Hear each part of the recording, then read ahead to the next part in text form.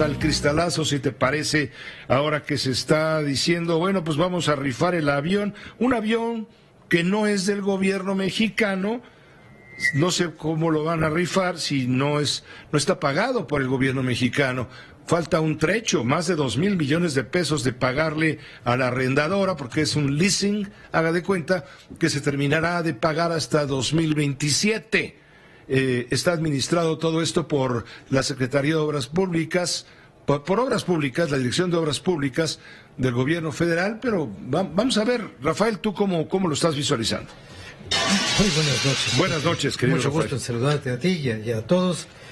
Bueno, Pepe, yo podría preguntar si estamos convocados a tomar en serio estas cosas o simplemente reírnos de ellas.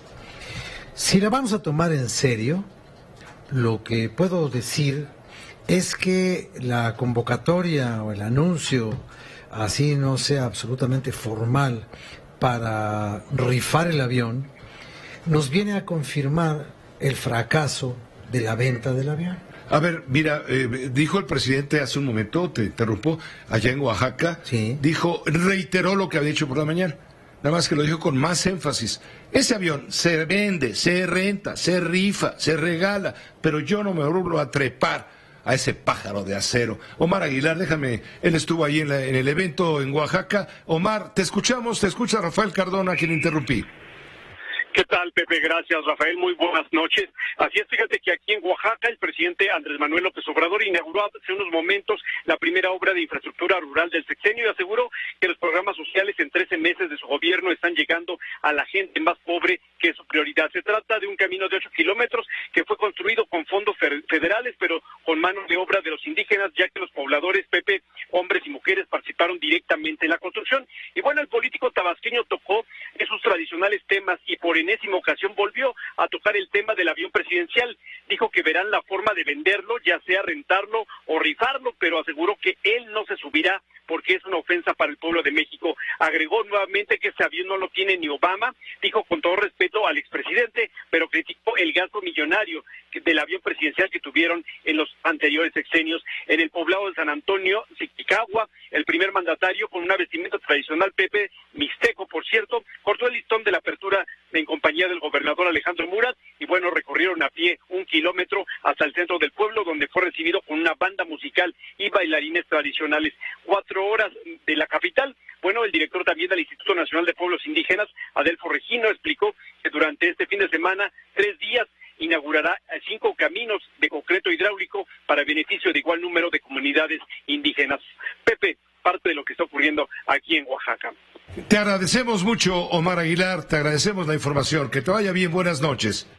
Buenas noches, Pepe. Regresamos con Rafael Cardona, sí, volvió a repetir lo del avión, lo que le digo, ¿no? Bueno, pues se rifa, se vende, lo que sea, yo no me vuelvo a subir, porque es una ofensa. Bueno, no creo que no se ha subido nunca, ¿no? Y como dijo aquel, pues ni se subirá.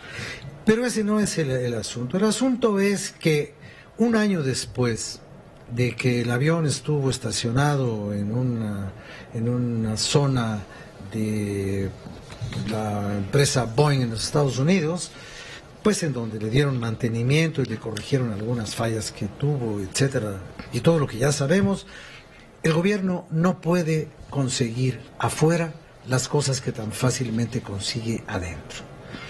En México el presidente puede decir desaparece el Seguro Popular y desaparece. Puede decir este se crea el INSABI, se crea el INSABI. Puede hacer lo que quiera aquí. Pero afuera no hay quien le quiera comprar un avión usado que está pagado a medias, que tiene un leasing, que tiene una serie de especificaciones hechas a la medida del cliente que lo, que lo compró, que lo estaba utilizando. Y entonces, bueno, viene esto que, repito, si lo vamos a tomar en serio, se trata de lo que yo llamaría una rifa imposible. Ya no te van a decir nunca, te sacaste el tigre de la rifa, no, te sacaste el avión de la rifa. Yo creo que es una, una idea que no representa realmente el interés de rifar el avión.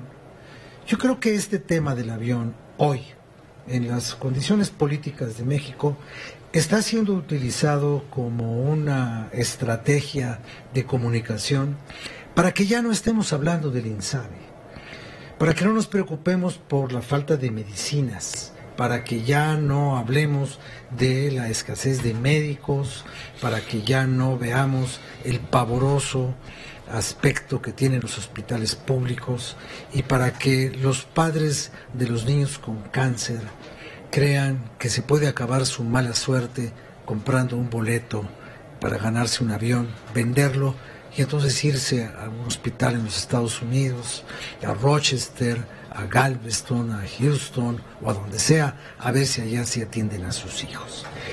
Pero si lo vamos a tomar como deberíamos tomarlo, eh, una vez advertido que esto no es más que una maniobra de distracción de la opinión pública, si lo tuviéramos que tomar en broma, es la mejor puntada que yo he escuchado en mi vida desde los tiempos de aquel programa de Chucho Salinas y Héctor Lechuga y todo lo que hacía Suárez y todos estos grandes cómicos de la televisión mexicana.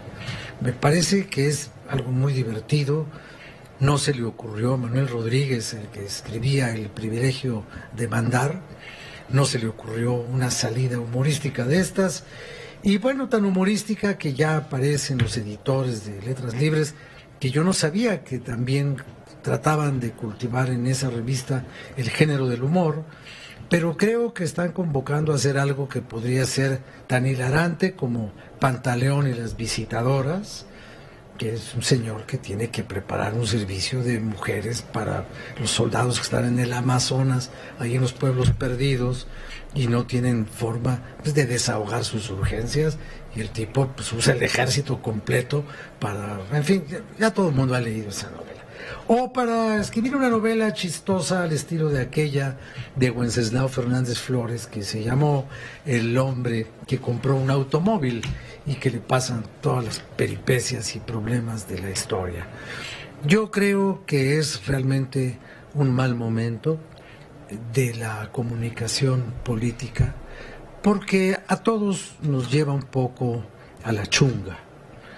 Creo que habría cosas más serias que atender que estar con estas convocatorias. Si el presidente no quiere usar el avión, pues que lo lleve como llevaron el tren Olivo al Museo Tecnológico de la Comisión Federal de Electricidad, que le saquen todos los fluidos al, avión, que lo sigan pagando y que lo pongan como el monumento a la corrupción si quieren, que le saquen un provecho, pero que no se burlen de 6 millones de ilusos que eventualmente podrían comprar un billetito de la lotería para no sacarse nada.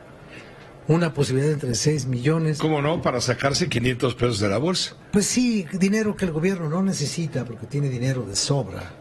Como dijo la revista The Economist hoy, que el presidente en este país, por un lado cuenta chiles y por el otro lado tira el dinero en promover equipos de béisbol. Entonces yo creo que sí valdría la pena ver este asunto Mejor, pues desde la óptica de que es una maniobra para que no veamos otra clase de problemas, porque a final de cuentas, Pepe, este asunto del avión es la prueba palmaria de cómo crear un problema en donde no tenías un problema. Muchas gracias, gracias Rafael Cardona. Gracias. Gracias, muy